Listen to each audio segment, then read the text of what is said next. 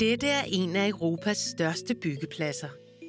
Nær Rødby Havn på Lolland bygger vi Femern mellem Danmark og Tyskland.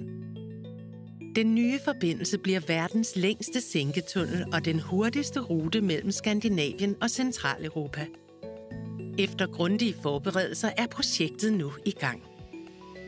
Første skridt i byggefasen er etableringen af den store arbejdshavn, som skal tage imod de enorme mængder af sand, cement, stål og grus, som skal bruges til støbning af tunnelelementerne.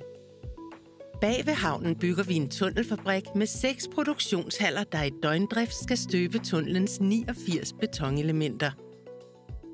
Standardelementerne er 217 meter lange – de vejer over 73.000 tons og indeholder to rør til motorvej, to rør til jernbane og et servicerør. De lange tunnelelementer placeres i en 12 meter dyb udgravet tunnelrende i havbunden. Udgravningen af den 18 km lange tunnelrende giver 19 millioner kubikmeter jord, sand og sten, der bliver til nye strand- og landområder ud for byggepladsen. Tunnelfabrikken bliver verdens største til betonproduktion.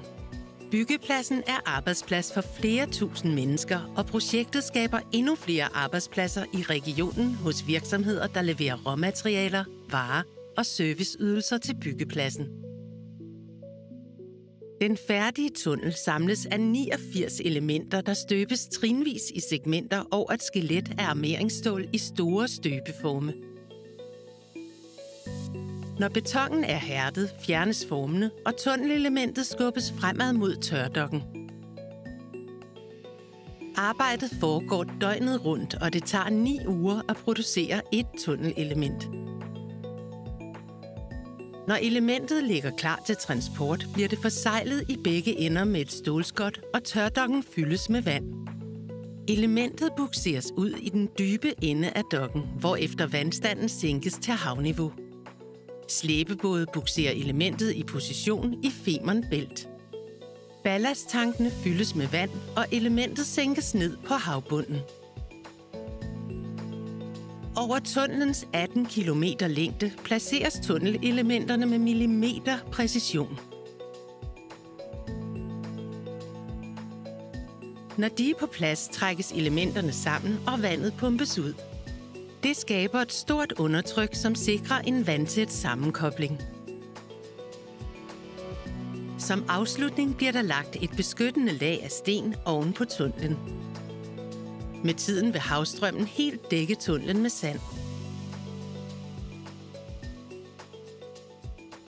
Ved Rødby Havn på Lolland og Puttgarden i Tyskland opføres store portalbygninger, som giver trafikken en blid overgang mellem tunnel og landjord på begge sider af bæltet.